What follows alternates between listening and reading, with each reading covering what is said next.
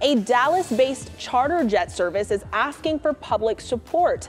Bloomberg News reports JSX accuses both Southwest and American Airlines and their labor unions of pressuring federal regulators to review charter safety standards.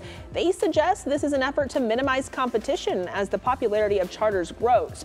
We have reached out to the airlines for comment.